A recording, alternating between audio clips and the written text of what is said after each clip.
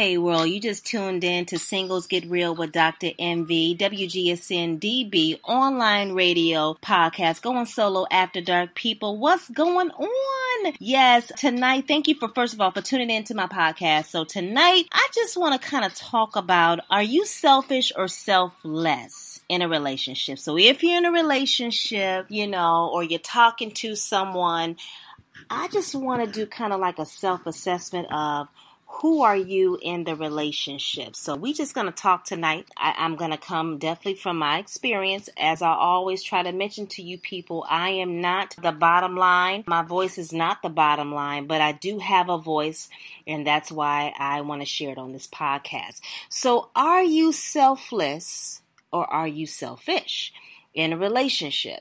So, okay, so for me, I'm just going to start with me. I'm a single mother, right? And so I'm a single mother. I've been a single mom for a minute, but I've had kids for 20 years now, okay? My oldest is 20, my youngest is 17. So, you know, kids, in my opinion, they teach you how to be selfless. You know, every time I go to the store or whenever I do something, you know, I can't just totally think about myself. I think about my two sons as well. So there was once upon a time, you know, in Dr. MV's life where I was dating an, an older guy and he just so ha- happened not to have any kids, you know, and there's nothing wrong with that. I believe that if possible, you should plan your family and move forward in that manner. But this guy, and this is no shade to him, but he didn't have any kids. And so, in the particular, um, while we were dating, you know, time reveals everything. I believe time tells it all. Whatever your mouth does not say,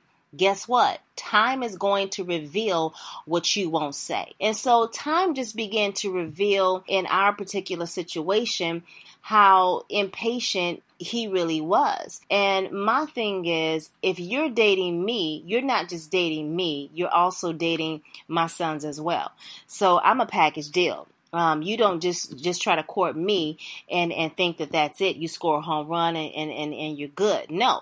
So for me, I I discovered that dating a man without any kids for me is a no go. And a reason why is because I look for a man to be or display characteristics of not just only thinking about himself or his needs but he's selfless he's able to come outside of his own his own perspective and look at another's another person's life and consider some things that he could add value to their lives. So at the end of the day, listen, life is a lesson. we would all learn a lot if we would just pay attention, people. So, you know, are you selfless or are you selfish? So there's a particular book, and I believe I mentioned this book in one of my other podcasts, but I'm not sure. But I want to bring it up again, and it's by Gary Chapman, and it's called The Five Love Languages. People, let me tell you something. If you're in a relationship or you are praying and asking God to send you a husband or wife, before He do any of that, you need to first find out what your love language is. And this book it highlights five primary love languages, people, and you need to understand what type of language speaks to your heart. You understand what I'm saying? Because oftentimes, and let's just be real, we can go from relationship to relationship to date ship to a situation ship to what was that ship? and um, yes, I said ship, S H I P. I do not curse, but I just want to be clear. So we can go through all these different type of you know new faces new voices new criteria etc right? Just trying to find our right person our right match not realizing we haven't taken the time to really date ourselves you know do you know what type of language primary language speaks to your heart. Because if you don't know your primary love language, how are you going to be available for the person that is meant to love you? How are you going to receive it? You know what I mean? And so, you know, I'm just in a, in a process of assessing myself. You know, you, you all know I wrote a book called Bride, which stands for Becoming Royal in Daddy's Eyes. And basically that book is, I'm telling you, you know, my dating life. I'm giving you a little glimpse of what, you know, some of the mistakes I've made and, and how I got to where I am today and what I desire. But one thing I know for sure, people, is that you have to stop, press pause on yourself, and you have to blow the whistle on yourself, and you have to assess yourself and figure out who you really are. Do not put yourself in the marketplace as if you're emotionally, physically, and spiritually available when you have not taken the time to take care of self. You understand what I'm saying? That is so key. And oftentimes, I just believe that many of us, many of us, both male and female, are so afraid to be alone for a season. Notice I said for a season, people. I didn't close the book on you. I said for a season. Being alone to assess your thought patterns and some of your behaviors that are good and some that are not so good and habits that you should not continue and just the perfecting of your character. You understand what I'm saying? So it's like if we could really just face ourselves, the, the true woman, the true man in the mirror, and really own up to just who we really are in that moment and begin to take the tools that we need in life, a tool such as reading the book, The Five Love Languages, and allow that to be a tool that can deconstruct old mentalities, deconstruct your old view of the opposite sex or your old view of relationships or, or, or deconstruct the pain that someone else caused you so you can be alone in the healing process and you can begin to rebuild new hope and for a better future. It's kind of like a house. You know, you see an old raggedy house and you're thinking that it has no value, but at the end of the day, you see someone who comes along and says, "You know what? I want to invest in that in that property. I see value in the property. While everyone else drives by this house and they sneer their nose at it, they don't see what I see. I see value in that property. And to me, that's kind of like what God says to us. He comes by, he comes in our lives and he says, You know what? I'm not going to judge you from that past mistake you made. I'm not going to judge you from the, the things that you've done and in your history of dealing with relationships. I'm not going to judge you, although the outcome of your decisions, it makes you look like something that, you know, is, is undesirable or you feel undesirable. But God comes along and he says, you know what? I want to invest in you. If you would just give me the opportunity to take my tools out and hire some men and come and deconstruct some, and they begin to tear down walls. They begin to tear down walls and pull out, you know, uh, uh, things that are not good in that, that house that looks to be standing on its last leg, right? And what happens? They begin to assess new material. They put new material into an existing frame, and all of a sudden, the same house that everyone drove past and they sneer their nose at is now the most desirable, beautiful home on the block. That's us. I like to think of that as our lives we go through situations where you know it's it's ugly. It, it, it doesn't feel good. And the last thing we need to do is carry around a luggage full of hurt and pain and bitterness from the past relationship and we're not allowing the other person to come in our lives and pour the real love that we really need because we refuse to be in a season called alone temporarily so we can begin to deconstruct and unpack some things in our heart.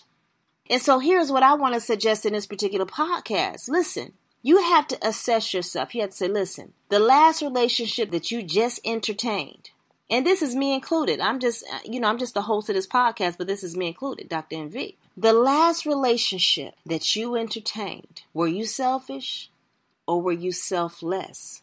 And then I really want you to draft a list of that last relationship of your pros and your cons. What were the pros? What were some of the positive things that you really honestly can say that you contributed to that individual's life? Uh, to that relationship that you've never done before. That it right there to me shows your your growth you know in terms of your character you evolving into this wonderful person. And then be honest with yourself and go to the other side of that and say you know what? What were some of my cons that were not so good? Some of the negatives that were not so good that i can honestly own up to that i do not want to repeat with a new face new voice new expectation new person in my life See, oftentimes when you begin to entertain a new person and you haven't dealt with your cons from the last relationship, the first thing you do when that person asks you, well, what happened to your last relationship? You begin to throw that other person under the bus. That's not cool, people. We can't throw people under the bus. First, start with yourself. Be honest of why the relationship didn't work out. So that new person can assess whether or not he or she wants to invest in additional spending time with you. It's that person's right to be able to make a grown up decision if they want to continue down the journey of discovering you even more. Because no one is perfect in this particular journey. You understand what I'm saying? Hopefully you do. so I want to get into this a little bit further, but right now, people, I am going to go to a quick little pause. We're going to pause real quick. And when we come back, we're going to go into Gary Chapman's five love languages. What are the five love languages that Gary Chapman uh, highlights in his book? How does it pertain to you and me? How can we apply it moving forward, both personally and in our relationships? Not just romantic relationships, but even with our family members, our friends. How can we begin to apply the five primary love languages in our lives, people. This is your girl, Dr. MV, and we are about to go to a quick commercial break. You are listening to Singles Get Real with Dr. MV, WGSN DB, online radio, going solo after dark, people. Be back soon.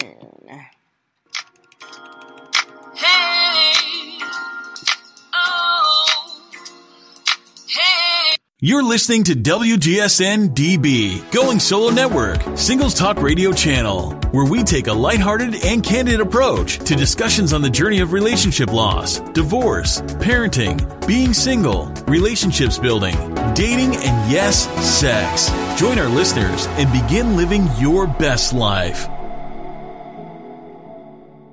Hey everybody, welcome back to part two of Singles Get Real with Dr. MV. And we have been talking about on this particular podcast show, are you selfish? Or are you selfless? Okay. And I mentioned to you in the first half of this podcast that one of the tools that I suggest everybody go out and get just to assess yourself is a book by Gary Chapman. It's called The Five Love Languages. And that's what I want to spend the second part of the podcast kind of just dissecting his five love languages. So I'm going to just go right into it. Okay. You may say, well, what are the five love languages, Dr. MV? All right. So number one in terms of the love language for this particular book is called words of affirmation. Words of affirmation. One way to express love emotionally is to use words that build up. Now, remember in the first part of the podcast, I talked about deconstructing and rebuilding. This is what I'm talking about. See, words are, uh, listen words can be used to destroy or words can be used to like uh, he mentioned here build up if you're in a relationship with somebody okay, or you're in that pre beginning phase of getting to know somebody, in the conversations, it's always kind of that negative tone, you know, to that relationship. That person is not using words to build up. That's a red flag. You have to be an adult, make a decision. Do you want to stay around to see what's going to happen, or do you want to, you know, check out early? Now, on the flip side, as it pertains to your primary love language, is this a considerable love language that you believe connects with your heart? And if so, what that means is that this is your primary love language. So the person that comes into your life, he or she would have to understand that the way you feel loved by him or her is when they speak words of life to you, when they use their words to help make you feel better, to build up your self esteem, to build you up, to encourage you. Everybody, I don't care who you are, everybody needs some encouragement every now and then, people. So, words of affirmation is one of the primary love languages. In some examples that he mentioned that someone will say in a relationship, is, you know, verbal compliments. You know, you look sharp in that suit. Ooh, you go ahead and you get that. you wear that, right? Or I really like how you're always on time to pick me up at work. Hint, hint. um, so just using words to make a person laugh, to, you know, just, just let them know that you really appreciate them. The second love language is quality time. By quality time, they're saying is, I mean giving someone your undivided attention. I don't mean sitting on the couch watching television together. When you spend time that way, Netflix or HBO has your attention, not your spouse or not the person that you're trying to get to know. At the end of the day, for me, because I'm so busy and life, you know, it, it can become a little bit overwhelming with my schedule. For me, in a relationship, quality time is really, really up there in terms of uh, of a love language for me but it's not my primary love language. but quality time is so key. It's not the quantity, it's not how often we talk, it's not how often I see your face. It's whenever I see your face or whenever I hear your voice. Is there quality in that conversation? You know what I mean? It could be a good five minutes, you know, and I could have been busy the entire day but for five minutes you call me out of the blue and you just you use words of affirmation to make me smile in that five minutes to make me forget about everything. But in that moment we just squeezed all the juice out of that moment right? That's quality time maximizing the time that you spend together is so key. So if you're with somebody who um, you know that this is their love language, make sure that you hone in on this love language and you pay attention and make sure that because at the end of the day, the last thing you want to do is be with someone who really don't want to be with you in that moment. You know, like they mentioned as an example, we're we're watching TV together. Yes, we're physically sitting next to one another, but we're not really connecting. That's not quality time. You are honed into the TV. You know what I mean? So it's like engage in a quick conversation. Find out how my day went. Let me find out how your day went. You know, etc. Spend that time together. So no, if you're with somebody who primary love language is quality time, you better pay attention. All right, number 3 receiving gifts. so, let me just explain how they're putting it here.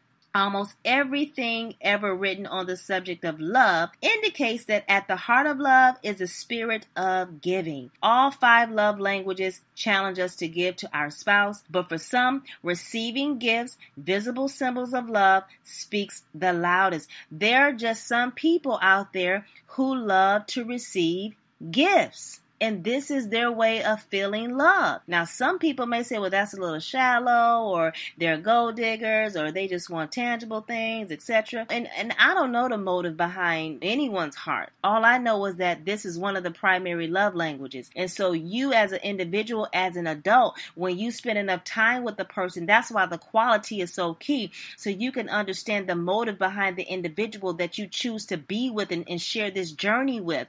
And you would understand that you you're not wasting your dollars on this individual, you will understand the intention of his or her heart.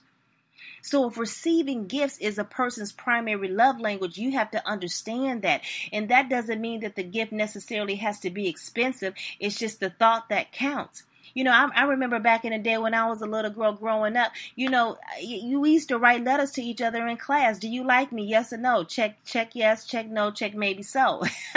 Wouldn't it be so cute as an adult for for an, an adult guy to come and write you a, a, letter like back in the day? Do you like me? Yes, no. You know, I think little things like that are just so cute and adorable. Don't cost you anything but time, okay, and creativity.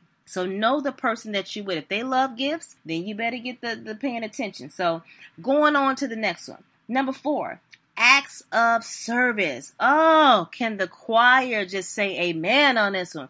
Now, for Dr. MV, this is my primary love language.